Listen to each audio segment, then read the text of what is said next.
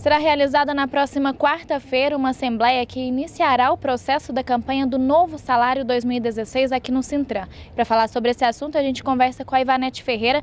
Ivanete, como vai ser essa assembleia? Qual horário? Olha, a Assembleia é amanhã às 17h30 na sede dos Sindicatos Metalúrgicos, na rua Pernambuco 543.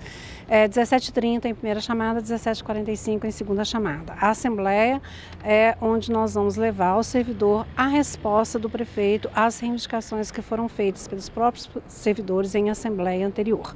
Então, o prefeito é, ficou de nos dar essa resposta hoje, por volta de 17 horas, e amanhã a gente vai levar para a Assembleia Assembleia essa resposta do prefeito e submeter ao servidor é, se ele aceita ou não a proposta que virá. Vanete, muito obrigada pelas informações. Tainara Faria para a TV Candidez.